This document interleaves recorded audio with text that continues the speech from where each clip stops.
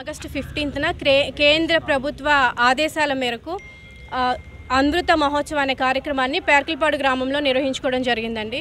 ఈ కార్యక్రమానికి సక్సెస్ చేయండి అని చెప్పి మండలం నుంచి నాకు ఈఓపిఆర్డి శ్రీనివాస్ గారు కావచ్చు ఎంపీడీఓ గారు కావచ్చు నా దగ్గరకు వచ్చి ఈ ప్రోగ్రామ్ని సక్సెస్ చేయండి.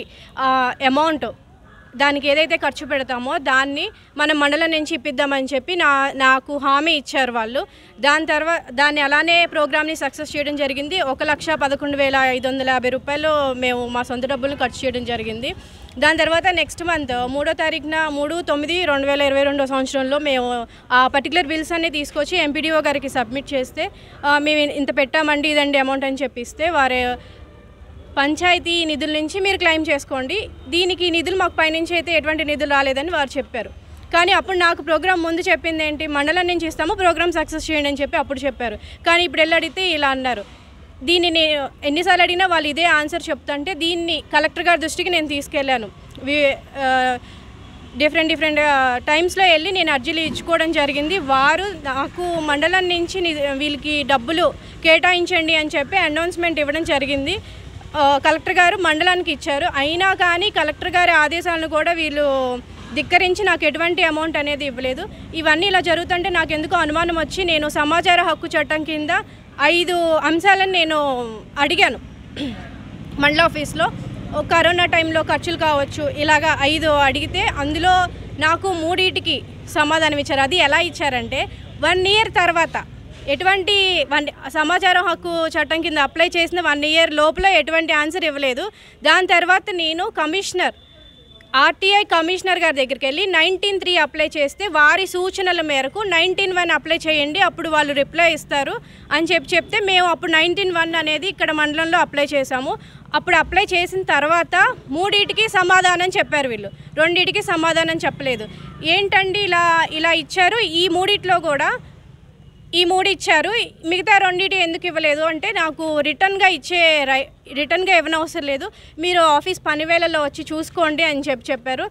ఆ రైట్ మాకున్నాయి. కావాల్సి వస్తే ఎవరైనా అడుక్కోండి. అడుక్కోవచ్చు అనే వర్డ్ అనేది మన ఎంపీడీఓ గారు ఒక ప్రజాప్రతినిధిని పట్టుకొని అలా ఆ వర్డ్ అనేది యూజ్ చేశారు.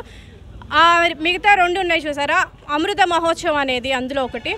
అమృత మహోత్సవంలో కూడా నేను పెట్టిన బిల్స్ని వాళ్ళు ఆమె క్లెయిమ్ చేసుకోవడం జరిగింది డబ్బులు. అలాగే ఫేక్ బిల్స్ కూడా అందులో చాలా ఉన్నాయి. ఇవన్నీ మీకు ప్రూఫ్తో సహా మీ అందరికీ నేను ఇప్పుడు సబ్మిట్ చేస్తాను. ఒక్క ప్రజాప్రతినిధిని మీరు అడుక్కోవచ్చు చూసుకోవచ్చు అని మాట్లాడడం ఎంతవరకు కరెక్టో మీరందరూ కూడా నాకు చెప్పాలి. అలాగే ఇలాగ పలుసార్లు నేను సర్పంచ్ గెలిచిన తర్వాత మర్యాదపూర్వకంగా గ్రామ అభివృద్ధికి మండలం నుంచి మనం ఒకసారి కలవాలని చెప్పి కలిసాము. దాని తర్వాత నుంచి ఏ విషయంలోనైనా మీరు మాకు సపోర్ట్ చేశారా? డిఫరెంట్ డిఫరెంట్ చాలాసార్లు ప్రతి విషయంలోనే నేను మిమ్మల్ని అప్రోచ్ అవ్వడం జరిగింది. ఏ విషయంలోనైనా ప్రతిసారి మమ్మల్ని కించపరుస్తూ ఇరవై ఐదు సార్లు కూడా నేను ఒకసారి ఒక విషయంలో మీకు ఫోన్ చేసిన దాఖలాలు ఉన్నాయి. ఆ రోజు కూడా నాకు ఫోన్ లిఫ్ట్ చేయలేదు మీరు. ఇలాగ ప్రతిసారి నన్ను అవమానిస్తూనే వచ్చారు. ఒక్కసారి ఇలాగా అడుక్కోండి చూసుకోండి అన్న విషయం నాకు బాధేసి కలెక్టర్ గారి దగ్గరికి వెళ్ళి ఇలా జరుగుతుందండి నాకు ఇలా వద్దు ఏమి ఎంక్వైరీ కావాలి అని చెప్పి నేను మన కలెక్టర్ గారిని అడగడం జరిగింది. అప్పుడు వారు ఎంక్వైరీ పెట్టించారు జెడ్పీ సీఈఓ గారి దృష్టికి తీసుకెళ్ళాము.